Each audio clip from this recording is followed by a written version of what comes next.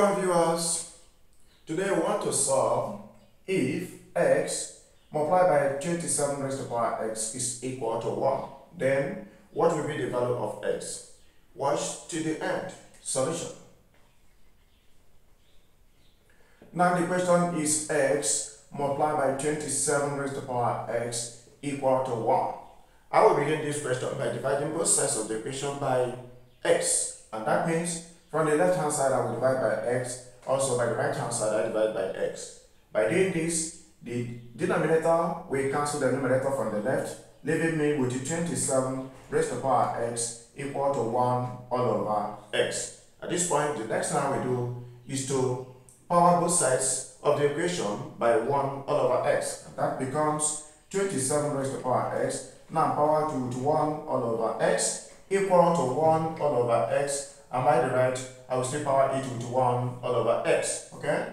And from this, by law of exponents, x will multiply 1 all over x, and that will give me 27 to the power of x all over x equal to 1 all over x all to the power of 1 all over x. So x can cancel out x, and from the left, I am just left with the 27. And by the right hand side, I have x1 all over x to the power of 1 all over x. Okay, but we know that a to the power of a equal to b to the power of b imply that a is equal to b and b is equal to a. That is, a is equal to b. So by this, I can express this 27 to be in this form.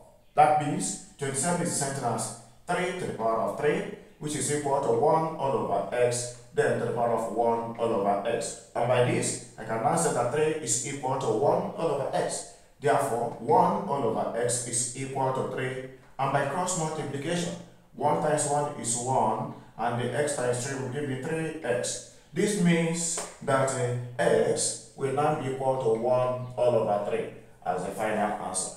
We check the result quickly. Check result. From the question we are given that x into 27 raised to the power x is equal to 1. So we want to find out when the value of x is replaced into the given question with the right hand side and the left hand side equal. That is the question. So here is x, which is 1 all over 3. Then multiplying 27, okay, raised to the power x, which is t raised to the power 1 over 3. Will this be equal to 1? That is the question.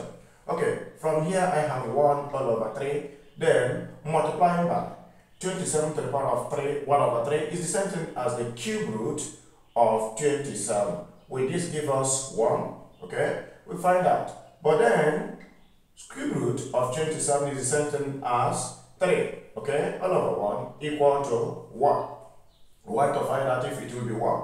Yes, 3 can cancel out 3, leaving me with just 1 equal to 1. And therefore, we can now conclude that the value of x in the given question is indeed equal to 1 all over 3.